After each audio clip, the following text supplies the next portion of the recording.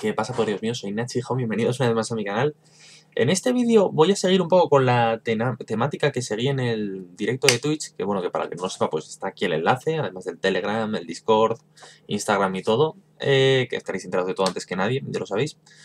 Eh, pues seguir con la dinámica de probar a Fede Valverde eh, de, centro, de falso central, ¿vale? Y diréis, ¿qué es falso central? Bueno, como sabéis, a mí me gusta mucho experimentar en el FIFA, y probar cosas nuevas. Yo juego con 4-3-3 falso 9, pero yo, para mejorar todavía mi estilo, me gusta que, que el centrocampista, eh, o sea, que el centrocampista, que el defensa central tenga salida de balón, ¿vale? Entonces yo eh, estoy planteándome en que uno de los centrales sea centrocampista, ¿vale? Y Valverde, por 50.000 monedas, que a mí me salió gratis realmente, porque a estas alturas de juego, pues tenemos, tengo todas las cartas ahí metidas, pues lo he estado probando y me ha dado muy buenos resultados, la verdad, porque me da mucha facilidad para sacar la pelota, me da... Perdón, el WhatsApp, chicos.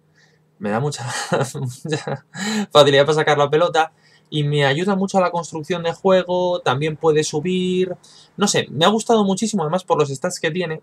Eh, lo primero que mencionar es que al ser índice, tiene un índice de trabajo medio-medio, esto es muy importante, me da bastante estabilidad porque ni sube mucho ni baja mucho, es decir, está un poco revoloteando, siempre suele ocupar la posición de defensa, pero bueno, está un poco más adelantado, lo cual me da cierta ventaja a la hora de, la construcción, ¿vale?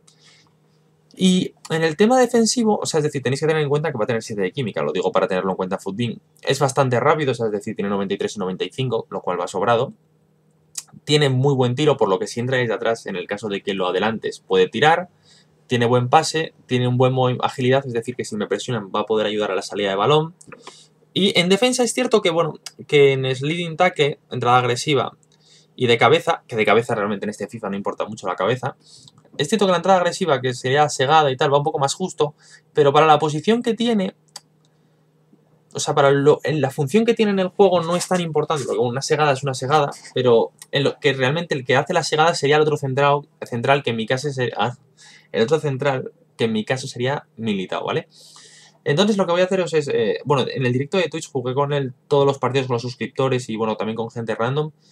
Pero bueno, ahora voy a enseñaros un partido. Antes de jugar Food Champions, ahora jugaré un partidillo así como para calentar las manos y os enseñaré eh, qué tal va Valverde en, en el juego, ¿vale? Además también tener en cuenta de una cosa, para centrocampista, Valverde tiene de estamina, o de resistencia 86.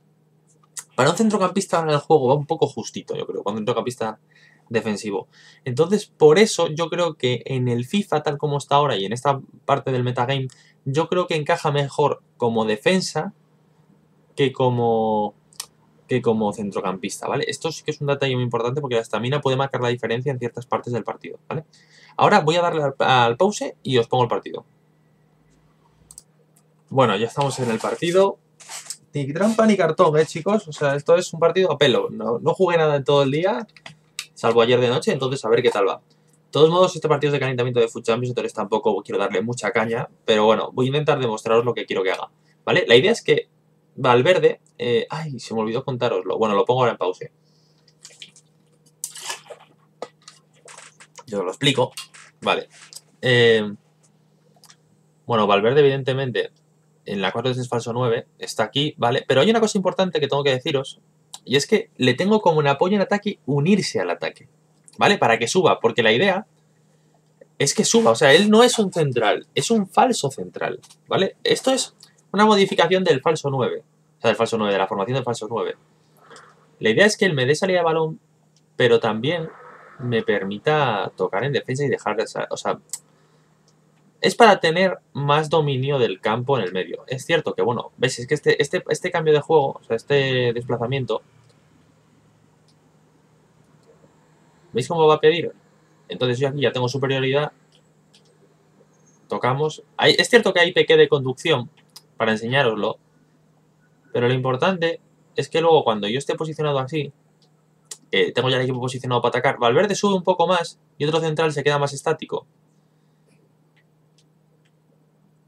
¿Veis? Entonces ahora con Valverde decido, Militao está aquí. Militao es el, el, problema es que la toca, es el que peor la toca y como podéis apreciar, es una desventaja, ¿vale? Yo ahora mismo os estoy enseñando con Valverde, pues intento tocar más la pelota con Valverde, realmente no hubiera vuelto hacia atrás, ¿vale? Pero lo que quiero que veáis es que Valverde es un buen central. Porque la tiene. Tocamos, tal. Voy a intentar no focalizar mucho el juego en Valverde tampoco, porque no, no es plan. Quiero que lo veáis bien. A ver qué puedo aportar. El Griezmann fue lento. ¿eh? Qué bueno se nota va pasando el tiempo. Bueno, ahí está Modric, que bueno, evidentemente pues siempre nos da esa salida de balón.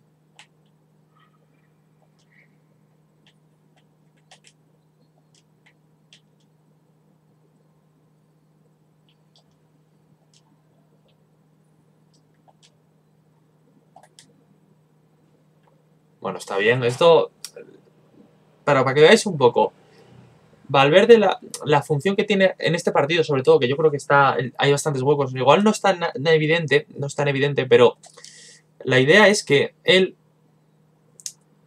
esté cubriéndonos y siempre de una salida fácil de balón, porque es el jugador que se va a adelantar. Además de que, que si no tiene que él que subir a atacar, pues nos va a permitir eso, sacar la pelota tranquilamente y cositas. Porque aquí tengo la pelota como verde, ¿vale? Imagínate que quiero hacer un desplazamiento. Perfecto, ya está abierta. Ya estoy arriba. ¿Vale?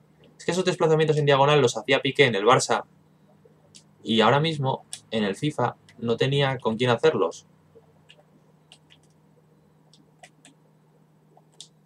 Ay, y es importante tener a alguien. Un para mí, uno de los defensas del equipo tiene que ser más ¡Ay, qué mal! Uno de los defensas del equipo para mí tiene que ser más defensivo y otro tiene que ser más constructivo, ¿vale? Y para mí Valverde yo creo que cumple esa, esa función pues de sobra. Tal como está el meta actual, ¿eh? Y para lo que es mi estilo de juego, tener defensa, no sé. A ver, a ver si me ataca ahora, voy a intentar dejarle atacar un poco. A ver si Valverde... Bueno, Valverde no necesita nada. Se coloca bastante bien, ¿eh? ¿Veis? Imagínate, ahora tengo una pelota comprometida y Valverde, como es ágil, la saca fácil. Esto es lo que te ayuda, porque claro, me acaba de despejar, el tío acaba de ir a presionar y ahora yo estoy casi arriba. Por no decir arriba directamente.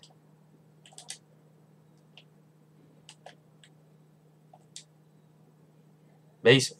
Bueno, el tío va a salir, lo siento porque este vídeo va a ser un poco corto. Te voy a poner la celebración para alargar un poco el, tiempo. Pero bueno, que lo que quiero que veáis es que, eh, que, que, Valverde, por lo poco que ha tocado, eh, a ver si en pase se puede ver. Mira, ha tocado 7 balones, central, entradas no he hecho ninguna, la verdad. Es que esto me pasa muy a menudo, es un asco, ¿eh? Pero, pero lo que quiero decirte, lo que quiero deciros a todos, es que Valverde me ha facilitado muchísimo la salida de juego y de la presión, porque, porque es que al final lo que ha hecho es, viste el cambio de juego a Carvajal que me ya me dejó casi arriba del todo, ahora me estaban presionando, saqué yo mal la pelota a propósito y pude salir rápido porque Valverde es más ágil. Y en defensivamente tampoco es que le hayamos visto mucho, pero lo que quiero que veáis es que Valverde para mí, para mí es el, o sea, es un jugador que tenéis que haceros sí o sí porque es es un central o sea, es un central que para mí, en el meta actual, es de lo mejor que hay. Voy a quitarme los cascos porque ya que no estoy jugando. Pero yo es un jugador que os recomendaría 100% que, por, que os lo hagáis. Por el precio que tiene os lo podéis hacer prácticamente gratis. Y 50.000 monedas por un central que yo creo que debería valer mínimo 200.000, casi 300.000, yo me podría aventurar hasta las 400.000, ¿eh? Fuera de coñas. Porque tal como está el juego y, como, y además los que me seguís ahora mismo, no sois gente que juguéis super amarrategui y tal, jugáis a tener la pelota, a moverla. Es un central que encaja perfectamente en vuestra en vuestro estilo. De verdad os lo digo, ¿eh? eh si podéis hacerlo con química, ¿vale? Si no, pues, nada. Y nada, gente, eh, espero que os haya gustado el vídeo, aunque sido un poco corto, lo siento porque el, la persona esta se haya salido. Me pasa muy a menudo cuando hago vídeos que se va la gente y claro, es un poco rollo. Pero bueno, visteis que en defensa estuve súper tranquilo, que es lo importante, ¿vale? Eh, entonces nada, gente, espero que os haya gustado el vídeo y nos vemos en el siguiente. Un saludo.